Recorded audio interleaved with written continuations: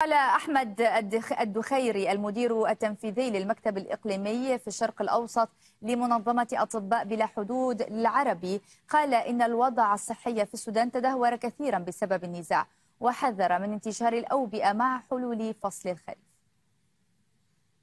ما بالك بأن الوضع قد تدهور حاليا نتيجة للحروب وعدم إمكانية الوصول إلى الأدوية بالإضافة إلى عدم وجود الإمدادات الطبية بطريقة آمنة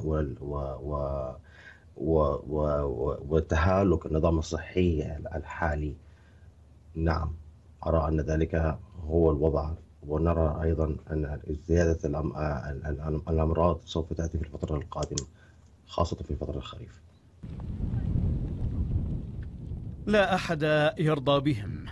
أكثر من سبعة ملايين سوداني هم الآن تحت ضربات سياط الجوع والمرض. ما يبقيهم يتنافسون الصدقات والمساعدات الهزيلة. فارون من جحيم المعارك يحاربون عبر هذه الطرقات اليابسة الطويلة أخطار سوء التغذية والفيضانات ولدغات العقارب. مساحات الأمن تضيق مع اتساع رقعة المعارك. أكثر من مليون سوداني انتقلوا إلى البلدان المجاورة. بقي أضعافهم في الداخل. يتعرضون لضغوط مالية متزايدة بالتزامن مع ركود اقتصادي كبير تسبب في تعطيل معظم خدمات التجارة والنقل وإعاقة الزراعة ووقف صرف مرتبات عدد كبير من الموظفين. النقص الشديد في تمويل جهود الإغاثة الدولية للسودان ضاعف الألم والوجع. الأمم المتحدة تقول إنها لم تحصل سوى على 25% من المخصصات المالية المطلوبة هذا العام.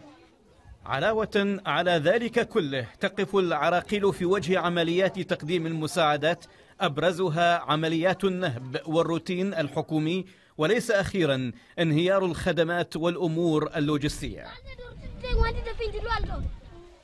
معركة السودانيين في وجه الجوع واللجوء والمرض مستمرة لا تتوقف تزداد ضراوة.